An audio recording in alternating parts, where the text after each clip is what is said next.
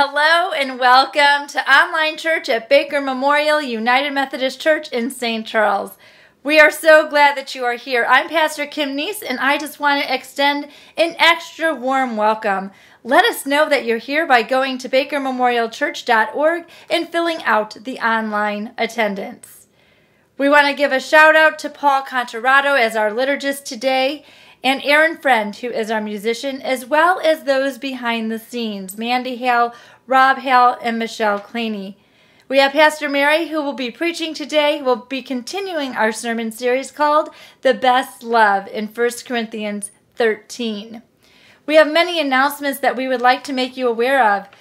July 4th is our first day that mask will be discretionary.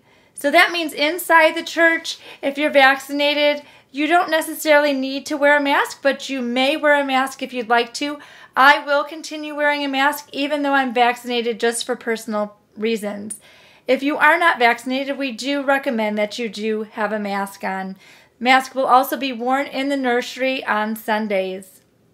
Well, we would love to invite you to be part of the family. That means going through a membership class with Pastor Mary, and it's going to be a great opportunity to learn and to grow what Baker Memorial United Methodist Church is all about, as well as for us to get to know you. In addition to that, we have preparation for baptism classes. We have a couple people already signed up who will be having their children baptized. You may be have thinking along the lines for either your children or for yourself. If you've not been baptized before, you can sign up for that at tinyurl.com, Baker Baptism 21 class. Well, July 15th, we are going to be hosting vaccines for the COVID shot. We are partnering with IDPH, and you can sign up to get your shot or tell others about it at tinyurl.com. Got my shot. We hope that you will spread the news to others in our community. That's from 11 to 3. In addition, if you want to be part of making a contribution to the local community, you can join the Northern Illinois Food Bank on July 19th from 9 to noon. It's a way for you to partner with the food pantry and getting things set. We have several people who go each month. We do it the third Monday of the month. Well, we have a, a, new bishop who every single year we have a bishop's appeal. And this year, Bishop Hopkins has an appeal for UMCOR's COVID 19 Relief Fund. You may want to do that by looking at the text to word give number right there. Um, or you may want to go to UMC NIC, which is United Methodist Church Northern Illinois Conference. That's what those letters stand for. Backslash Bishop's Appeal 21. So we are just thrilled to have you here. And at this time, if you have a candle in your home, we'd like for you to get that out so that we can light a candle together as we continue our worship.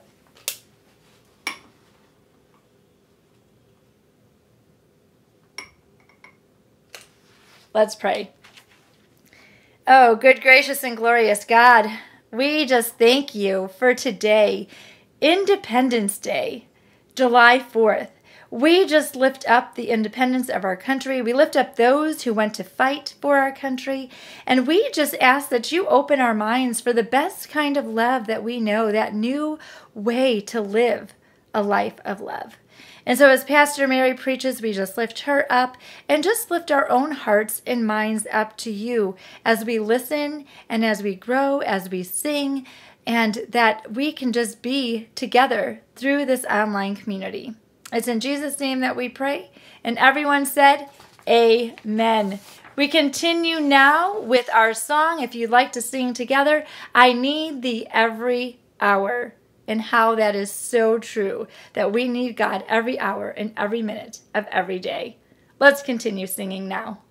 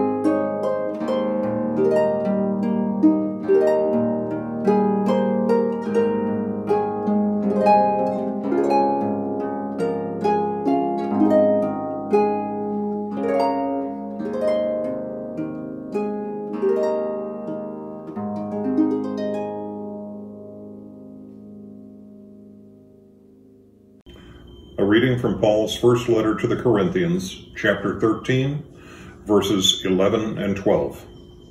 When I was a child, I spoke like a child. I thought like a child. I reasoned like a child. When I became an adult, I put an end to childish ways. For now we see in a mirror dimly, but then we will see face to face. Now I know only in part. Then I will know fully, even as I have been fully known. This is the word of God for all people. Thanks be to God. Over the last month, we've been working our way through 1 Corinthians chapter 13. We've been going pretty slowly, taking the time to think deeply about what God was inspiring Paul to teach the Christians in Corinth almost 2,000 years ago. And we're almost done. Paul Conaroto read some of the last verses in the chapter today. And next week, we're going to finish up by stepping back to relook at the message of the entire passage. Now, Paul used two metaphors in the verses that we read today. First, he talked about childhood ways in contrast to adulthood ways, and about how accurately, and then about how accurately one is able to see oneself in a mirror. Both of these metaphors seem to be aimed at teaching essentially the very same thing. Paul was trying to help the people at the church in Corinth see that they were actually in a different spot on their journey of spiritual maturity than they thought they were. Some of them seemed to have thought that they had arrived at the end of the journey. Paul corrected them in an easy to understand and memorable way. The first metaphor he used was about children. When I was a child, he wrote, I spoke like a child, I thought like a child, I reasoned like a child. When I became an adult, I put an end to childish ways. First thing I think we ought to think about is that Paul wasn't actually trying to say anything negative about childhood years. He's simply observing that childhood and adulthood are different. He observes that children speak differently from adults. They don't think like adults, and they aren't able to reason like adults. These are simply facts. We are not born as adults. Human beings need a period of time and also nurture by others over a period of time in order to grow up in body, mind, and soul. So there's absolutely no problem with being a child. The problem that Paul is somewhat subtly pointing out is when a childlike person believes they are an adult and then takes on the roles of fully grown adults as if they were. That was the problem with some of the people at the church in Corinth. They thought they understood everything they needed to understand about God. They thought they had all the spiritual community skills they needed to run the entire church themselves. But they did not. They were adult aged people who were still spiritual children in important ways. Imagine for a minute what a household run by someone who had the communication, thinking, and caring capability of a typical eight year old would be like. There are a few children who could probably do this okay, but it would be rare to find many children like that. Imagine for a moment a school or a community led by a team of people with thought process, leadership skills, wisdom, and caring capacity of children. The likelihood of it turning out well is low. Childhood is good, but children or childish adults taking over what mature adults need to do generally doesn't come out well the childish understanding of faith of some of these self proclaimed leaders in Corinth was becoming visible in the way that they cared for others. Like young children often are, these people were self centered. They were seeking self satisfaction, and they were unaware of the hurt that they were inflicting on the others. And I guess most of us know that this problem of childlike self centeredness in adults is not only an ancient problem, it's a problem we run into in the modern world as well. I know I've had some teachers, even in seminary, who wanted to be right more than they wanted to help students learn. And I know I've had bosses who kept all the good comments about their teams, work to themselves, but deflected all the critique back to their employees. Paul observes that a sign of adulthood is that their childish ways have been recognized and set aside in order to become mature, caring, loving adults. And his lesson is worth spending some time thinking about. Can you name the childish ways that you have discovered in yourself and then set aside? Do you know the difference between a child's understanding of God and a mature adult understanding of God?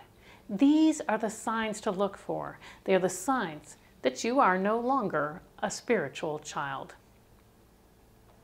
Now, I know that some people find Paul's metaphor of childhood a little bit difficult to read because they think that Paul is being a little conceited when he offers himself as an example of adult maturity. And yes, Paul saying that he is an adult who has already put childish ways behind him might sound just a touch prideful. But I think we need to remember that it takes an adult perspective to actually be able to name childhood, childlike behavior. I think back to when our children were young. And I'm sure I explained my parenting rules to our children by saying, because I'm the adult and you're the child, more than once in their childhood years. I'm 100% sure that when they were in their tween and teen years, I had to explain the difference between childlike behavior and adult behavior on multiple occasions. But I wasn't explaining these things out of pride. These words were spoken out of love. My aim was to help our children grow up to be adults in more than size and age. I believe that Paul was doing the same thing. He was helping the people he loved as Christian brothers and sisters grow up in their faithful leadership and care for others. Paul then continued on with the second metaphor that I think is closely related to this first one. Paul wrote, For now we see in a mirror dimly, but then we will see face to face. Now I know only in part, then I will know fully, even as I have been fully known. The first thing to notice is that Paul is no longer separating himself as different or more advanced from the others. He's standing with the people of Corinth, using the word we as he considers the human condition. He essentially repeats what he said a few verses ago we know only in part. The metaphor he uses, though, this time is of a mirror. And a mirror is a tool that, especially in those days before they had invented telescopes or other instruments, was used primarily to see ourselves. So the knowledge Paul seems to be talking about here, or at least at least includes at some level self knowledge. We cannot see ourselves clearly. We are unable to see our childlike ways easily. To better understand the mirror metaphor, we need to know something about the mirrors that Paul was referring to. Now, I've heard it said many times that ancient mirrors had a highly flawed reflection. And I know, having heard it, that it gave me the impression that people could barely see themselves in those ancient mirrors. But recent scholarship shows that this probably isn't a good understanding of this mirror metaphor at all. In fact, ancient mirrors were quite good in their reflection quality. Not as good as our coated glass mirrors, but every bit as good as a nicely polished metal surface would be today. So you certainly would think that you were seeing yourself reasonably well. And apparently, the city of Corinth had a pretty sizable mirror making industry, so they presumably would look in a mirror and think they could see themselves quite well. However, Paul observes that this kind of reflection isn't a deep reflection. He says we see dimly, perhaps because mirrors were made of brass, so that the image was in fact yellowed. And he says, Now I see or know only in part, perhaps referring to the reflection in a mirror not being of our whole selves. Even now, we see ourselves in the front or in the back, but we can't see both generally simultaneously. So we might think we see well in a mirror, but even the best mirrors made in Corinth, we need to realize that we are still lacking in our ability to see ourselves including the childishness of our ways in comparison to God's desired ways. Paul goes on to say, Now I know only in part, then I will know fully, even as I have been fully known. If you really think about God knowing you fully, and uh, eventually then revealing everything about yourself to you so that you can clearly see really how well you've loved God, your neighbor, and yourself, you might find it a little bit overwhelming. What I love about this sentence is that Paul does not say this with any trace of fear. He seems calm and matter of fact. I will know in full about myself and my actions, even as I've already been fully known. Being able to welcome self knowledge and correction by God is a true sign that Paul is actually quite mature.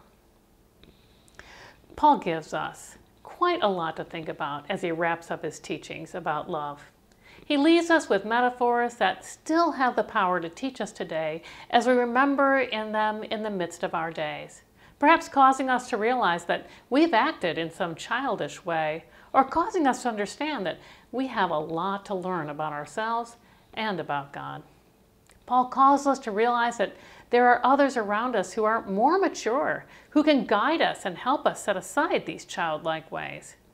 And he admits that all people need to be humble in God's presence because no matter how much we know or understand, only God knows us in full at least for now. My suggestion to you is that you carry these metaphors with you throughout this week. Hopefully, they will help you see yourselves more clearly in the spirit of Paul. Amen.